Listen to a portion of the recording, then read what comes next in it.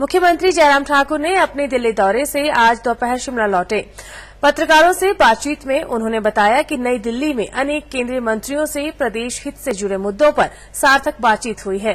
मुख्यमंत्री ने कहा कि केंद्रीय बजट से पहले ये महत्वपूर्ण दौरा था और प्रदेश की विभिन्न परियोजनाओं को लेकर केंद्रीय नेताओं से चर्चा हुई है। उन्होंने कहा कि राज्य में कोरोना के मामलों में कमी आई है और एक दो दिन में कोरोना की स्थिति की समीक्षा की जाएगी। मुझे इस बात की खुशी है कि एक साथ पिछले कल पाँच विभाग के कैबिनेट मंत्रियों से मिलना हुआ है।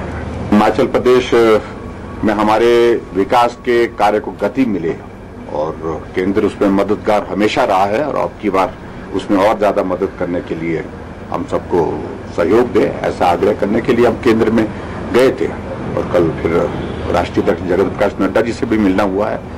तो बहुत सारी चीज़ों को लेकर के बातचीत हुई है। तो देखो, केंद्रीय बजट के प्रस्तुत होने से पहले प्रदेश प्रदेश की ओर से जो हमने कुछ आग्रह करने थे, वो किए हैं। वो ज़रूरी नहीं है कि बजट का हिस्सा होगा, लेकिन आने वाले समय में बजट पेश होने के पश्चात जो है, उसमें हमारे उन सारे प्रोजेक्ट्स का ख्याल रखा जाए। तुरंत